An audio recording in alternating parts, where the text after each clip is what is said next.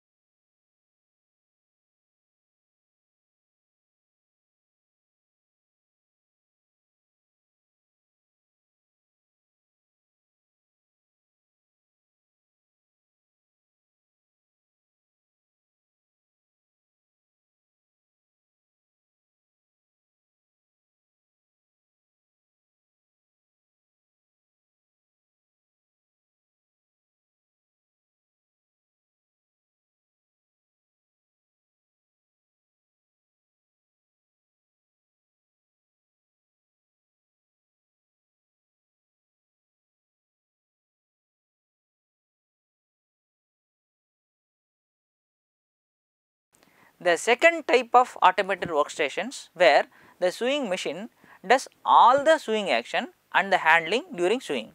The preparation of parts to be fed into the sewing machine, loading the prepared assembly and unloading the stitched part will be done by the operator. Since the operator here is involved, the probability of the machine head doing work continuously is reduced. Invariably, the machine will have to wait for unloading and loading of the next piece. Also, if the preparation takes more time than the sewing cycle time, more time is lost by the sewing head which will remain idle. For example, profile sewing of collars and cuffs. This video shows the sewing of side seam pockets of a formal trouser with separate side facing.